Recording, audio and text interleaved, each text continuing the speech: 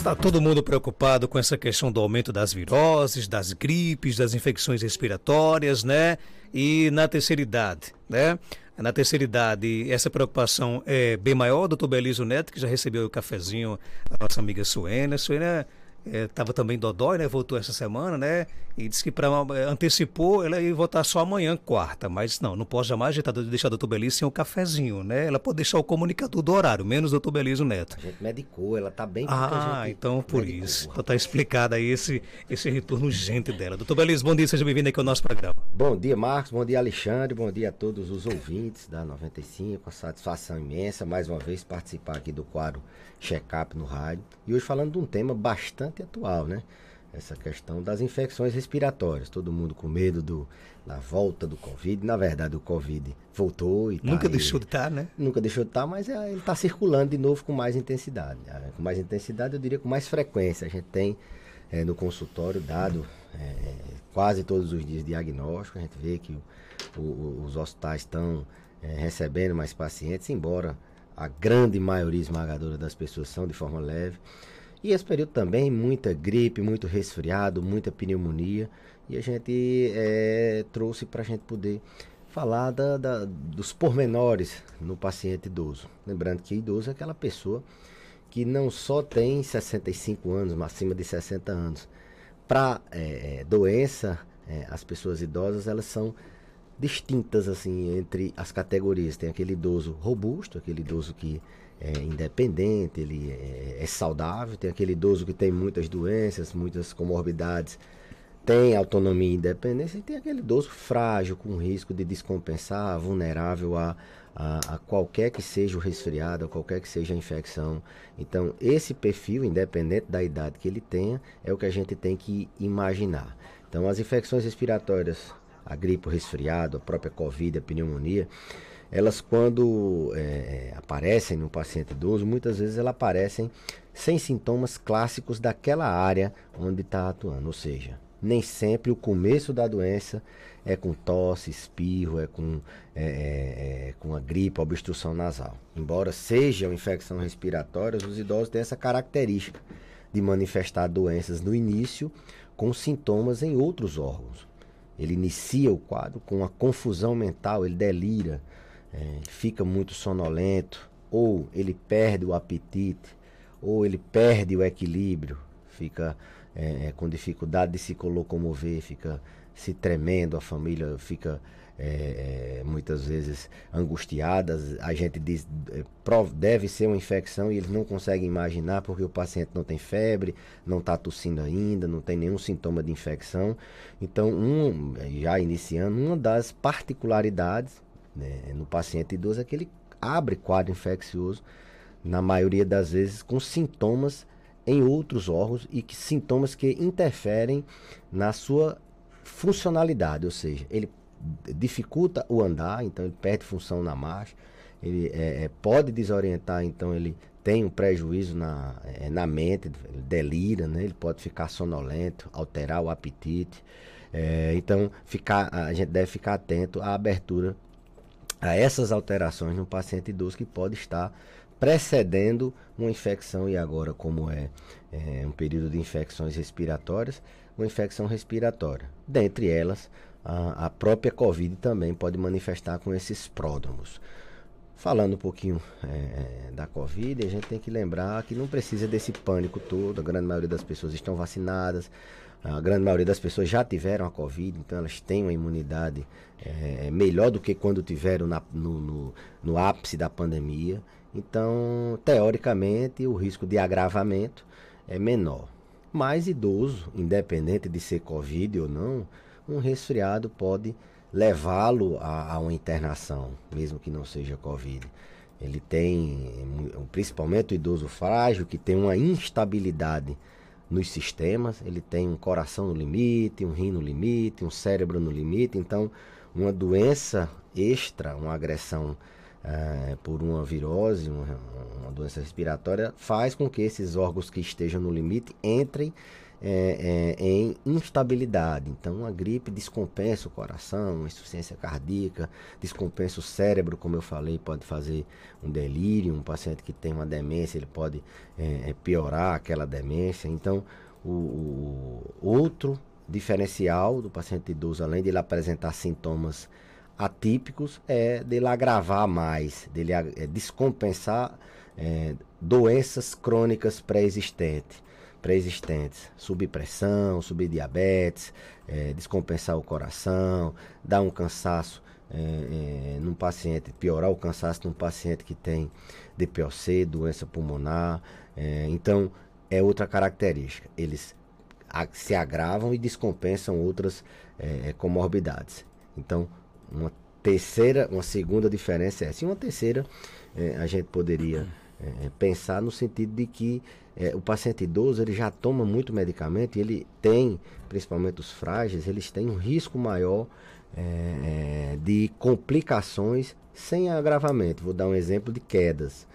Muito comum eles tomarem antiviral, sai por aí tomando xarope anti, é, antialérgico para gripe. E esse xarope, boa parte das vezes, tem substâncias que podem fazer interação medicamentosa com os medicamentos que ele usa provocar quedas, por exemplo. Muitos desses xarope têm antihistamínico, uma substância que induz sono, induz queda. Então, ter muito cuidado com a automedicação nesse período. Haja vista que os pacientes idosos, teoricamente, já tomam uma, uma quantidade de medicamentos e mesmo que não tome, tome poucos, eles têm um risco, independente de tomar muito medicamento ou não, de ter reação adversa a medicamento. Então não sair por aí comprando remédio para imunidade, xarope para tosse, não sair por aí é, é, fazendo aquilo que dá na cabeça. É repouso. medicação, né? É.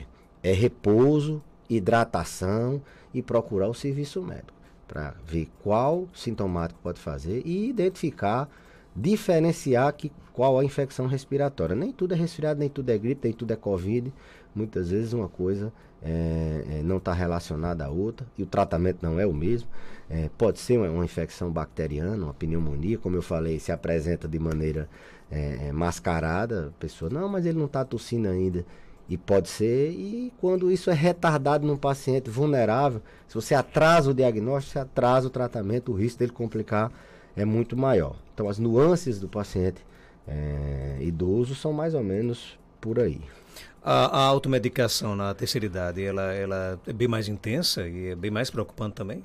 Pra você ter ideia, Marcos, quase 70% dos idosos, isso é um dado americano, utilizam um, pelo menos um remédio não prescrito, é, é, sem indicação médica de prescrição. Utilizam um remédio extra, se automedicam, seja uma vitamina, seja um, um remédio para melhorar isso, melhorar aquilo. Então, os idosos americanos, eles têm, é, assim, em 70% das vezes, eles se medicam. No Brasil não é diferente. Você pode conversar com a maioria dos idosos, eles estão tomando uma vitamina, eles estão tomando um cálcio, eles estão tomando é, é, algum medicamento que algum vizinho, um remédio para dor, sem orientação médica.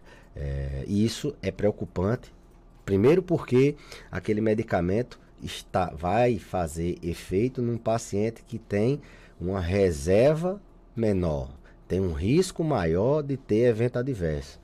Nos Estados Unidos, por exemplo, também, 30% das internações de idosos têm relação com efeito adverso a medicamento. Então a automedicação, ela é um problema nesse sentido, porque ela coloca aquele paciente num risco maior do que um adulto jovem de ter a reação ao remédio. Então ele cai, ele sangra o estômago, é, ele desorienta é, e além disso é uma parcela da população que toma muito medicamento porque tem mais doenças crônicas. Então, o risco desse medicamento é, fazer interação, se misturar, anular o efeito de um remédio, diminuir o efeito, aumentar o efeito daquele medicamento que ele toma, existe. Então, automedicação já não é recomendada e no paciente idoso os riscos são muito é, é, é, muito maiores. O ouvinte pergunta aqui como melhorar é, ou aumentar a o, imunidade de um idoso. Pronto. Essa é uma pergunta que tá todo mundo querendo saber de imunidade, né?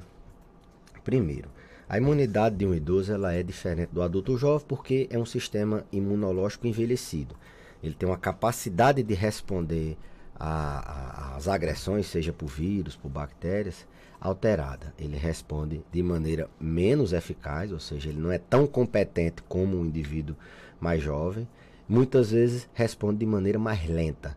É, a gente tem dois tipos de imunidade. A, a, imunidade adaptativa ela é mais lenta e, um, e, menos eficaz. Então, independente de imunidade ou não, é, o idoso ele tem essa alteração na imunidade. Lógico que os idosos frágeis eles têm uma alteração maior ainda. A imunossenescência, ou seja, o envelhecimento do sistema imunológico, ele é ainda é, é, é mais é, intenso no paciente é, idoso frágil. Mas algumas medidas podem ser feitas para que o idoso não piore a imunidade. Melhorar a imunidade é uma coisa complexa. Pra você ter ideia, tem doença que se você tiver uma imunidade muito alta, ela começa a destruir o próprio organismo. Ela entende, é um sistema de defesa. Então ela começa a atacar o próprio organismo. Tem inúmeras doenças que são autoimunes, ou seja, é o organismo destruindo o próprio organismo pelo sistema imune. Então esse negócio, não, vou aumentar a minha imunidade. Se você aumentar, você pode ter problemas com. É porque, é, felizmente, o que se prega para a questão de melhorar a imunidade não faz essa.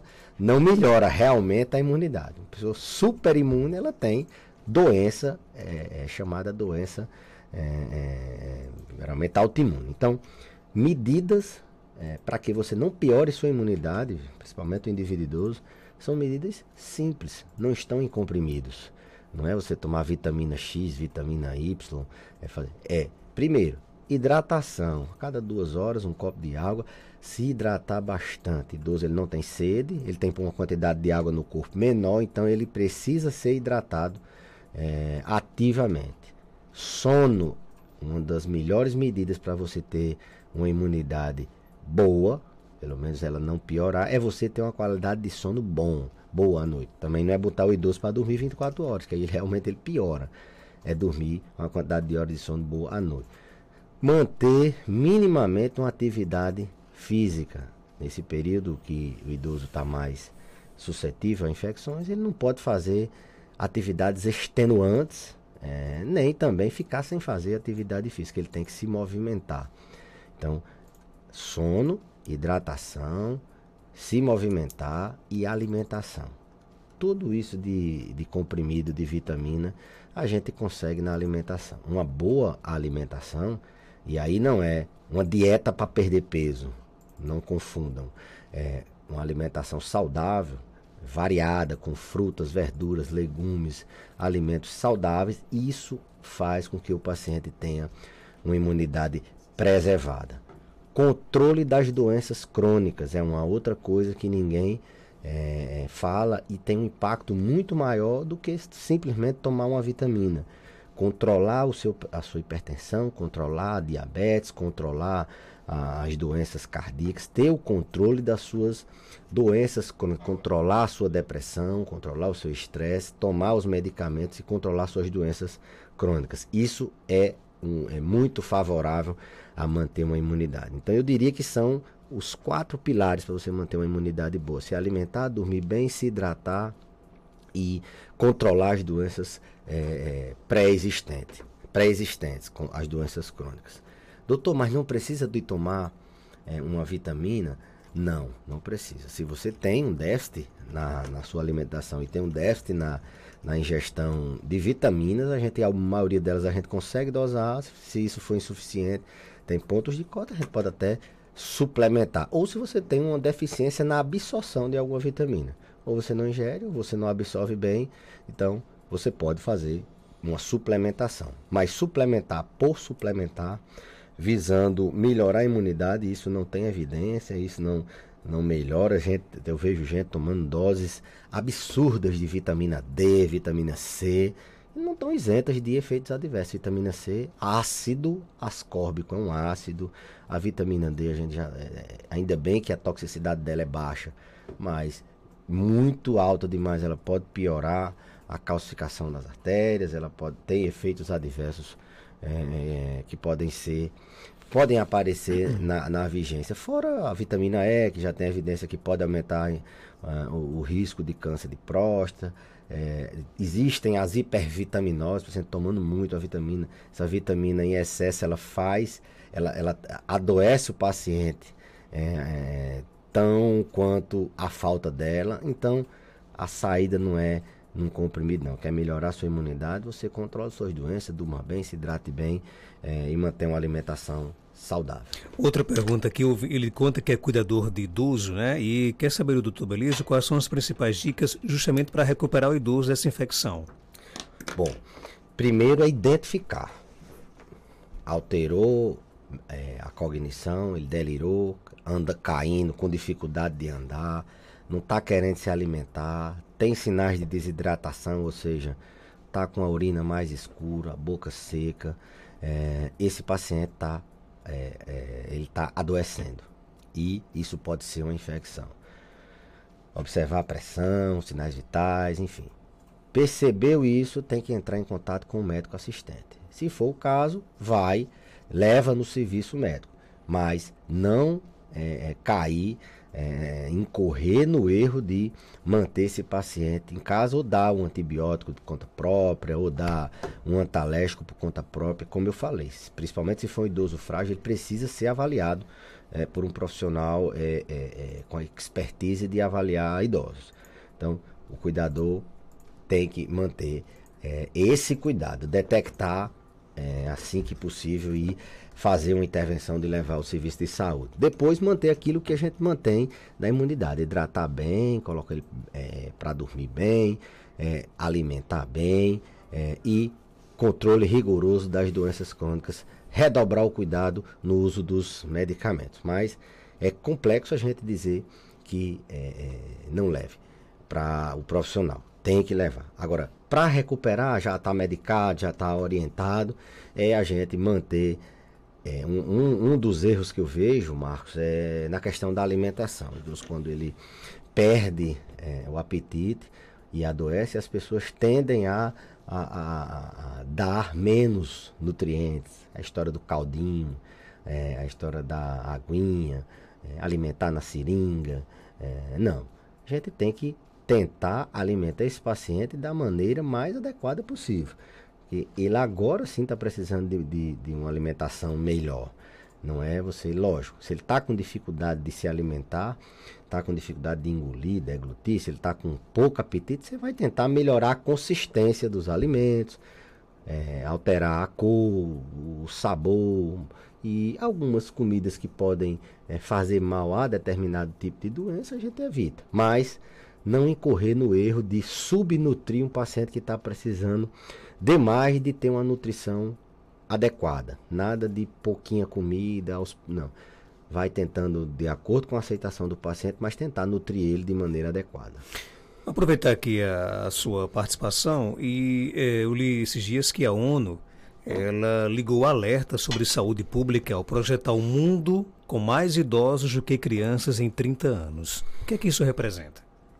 Isso representa, Marcos, é, impactos de ordem em diversas áreas da sociedade. De ordem financeira, porque essa substituição, é, mais idosos, menos crianças, a médio prazo vai fazer com que tenhamos mais idosos do que menos e menos adultos. A parcela da população economicamente ativa são os adultos jovens. Os idosos eles já não têm a mesma é, inserção no mercado de trabalho é, como adulto jovem. Então a gente vai ter que ter é, é, ter que pensar como é que vai fazer essa distribuição de, de, do setor que produz e assim por diante. Impacto é, econômico também do ponto de vista previdenciário.